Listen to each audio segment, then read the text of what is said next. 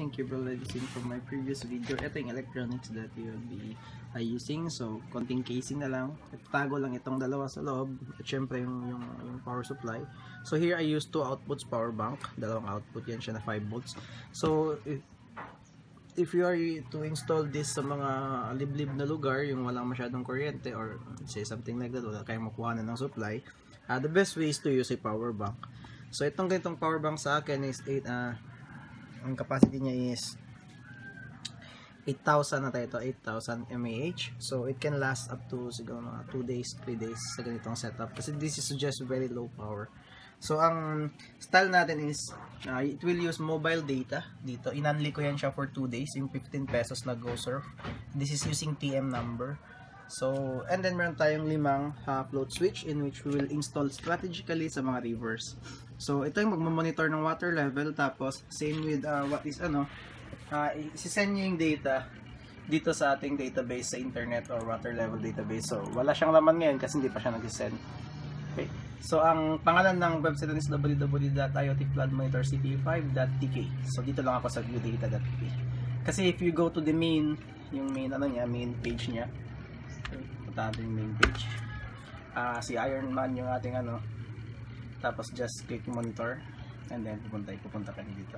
Water level database. So tatlo lang naman yung nakal-date nakalagay. So I will be giving this to you kung sakaling gusto nyo i-design. But this is pretty uh, okay na kasi this will already display kung ano yung latest na reading. Okay.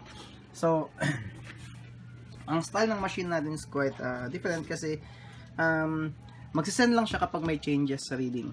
So, pag sinabi natin changes sa reading, yung monitor kasi nito is, itong mga float switch, i-install mo to siya kung sakaling ito yung river, ito yung river, lalagay mo siya sa bawat location, ganyan. Okay, so pag mabot na siya ng level 1, maangat to siya.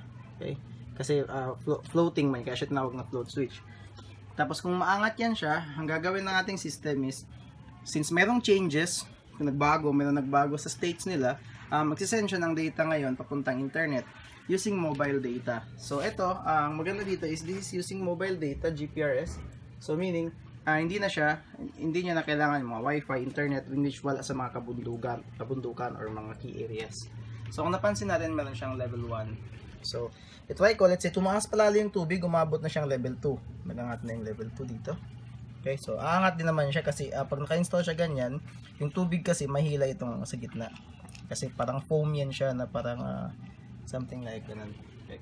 So from level 1, okay, uh, yung ano niya is 10 seconds auto update. So mag-update siya every 10 seconds. So yun, naging level 2 siya. Okay. So let's say iangat ko talaga siya ito. Todo ko siya 3, 4, and 5. So 3, 4, 5. Okay. So biglang angat ng tubig, uh, maybe flash flood or anything.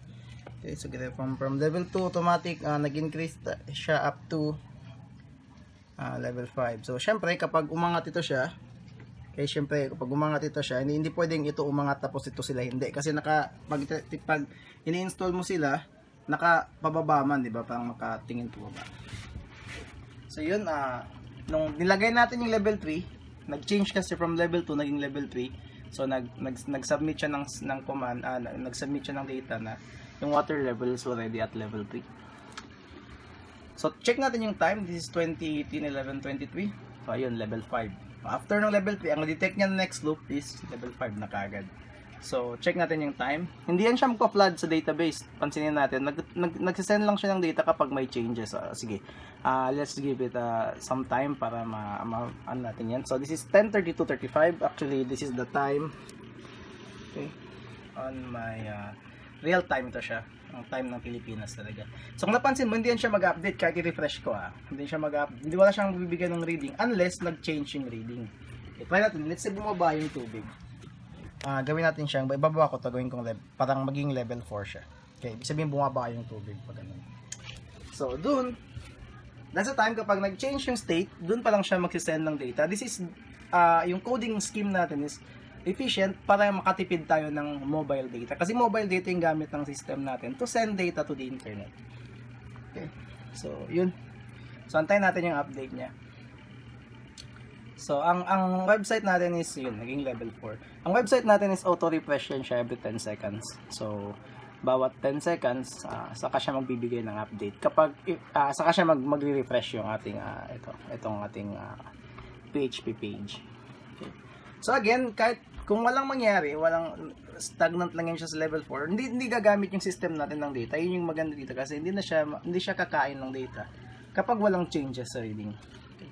So yun, antayin natin ba para bigyan ko mga 1 minute data ng okay, 1 minute ng pagre-refresh dito. Walang magbabago unless binago ko yung reading. So, yun. Give it mga 30 more seconds. So, hindi yan siya magko-flood, no? Parang kasi, kung magko-flood, level 4, level 4, every loop magbibigay ng data. Uh, after mga ilang minuto, maubos na yung data natin na ginagamit pang update. So, ito, this is very efficient. Uh, hindi talaga maubos yung data mo kasi Okay, so level 4 daw siya ngayon. So pag binaba ko to, let's say binaba ko to, saka pa lang siya magsisend. Sa baba ko to ah. So magiging level 3 na yan siya, di ba? So 1, 2, 3 lang. So check natin dito. Antay natin yung kanyang update sa internet. So itong itong database ay itong website na ito, makita to ng lahat as long as may internet ka. So parang monitor mo yung water level kay anywhere in the world as long as uh, meron kang internet. So antayin natin yung auto refresh ng ating page. Yan, level 3 na lang siya. Okay. So, I guess that's all. Uh, it's very simple but very effective also. Actually, hindi lang naman itong data ang pwede mong isend sa internet. Uh, if we can place other sensor dito and you can uh, you can code it properly, uh, you can also send other readings sa internet with regards din sa uh, water level na reading. So, sa mga flood monitoring system, I think this is enough kasi kung makikita mo sa internet na let's say from level 1 naging level 3 kagad o kaya naging level 4 kagad, basically that's flash flood. Or kaya kung para warning device din kapag let's say level 4 na, uh, parang ang nilagay ko dito sa ating uh, system, sa ating page P na main page, tayo sa main page natin, eh, hindi yan siya mag-update, ganyan din yan. Visit natin yan ulit mamaya. As long as walang changes sa data. Ang coding scheme na yon is uh, parang uh, state machine lang siya. Okay? So please be advised that upon noticing level 4 alert, do prepare to evacuate. The system is monitoring in real time. The system is built using SIM800 GSM. Uh, the system uses a GPRS capability of SIM800 to send readings of the float switches which are installed in the rivers and send data to the internet which can be monitored here. Okay, so parang gano'n na. Pag sinabi niyang kapag umabot na ng uh, level 4, so copyright CP 5 2018, So, that's the time na kailangan mo nang mag-evacuate. Kapag level 5, kailangan mo nang tumakbo. Parang ganun na.